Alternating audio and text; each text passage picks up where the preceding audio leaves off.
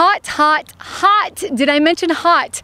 Practice on Wednesday at Chargers Park, the day after an off day. Guys returning to the field in pads. They went a little longer today. Mike McCoy saying that's the only way they're going to get in football shape is if they work under these conditions, and that's what they did.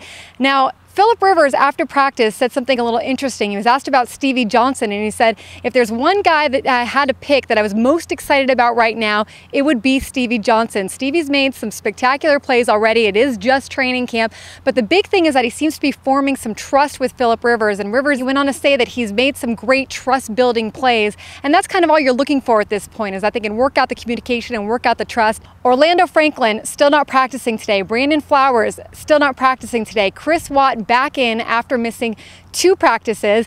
Now, an interesting thing for all you on Fluker Watch.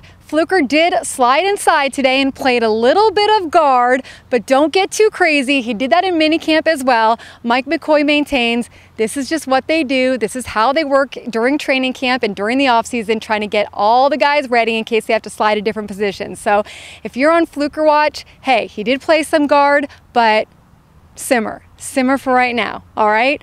We'll have more tomorrow at practice. I'm Annie Heilbrunn from Mighty1090.com.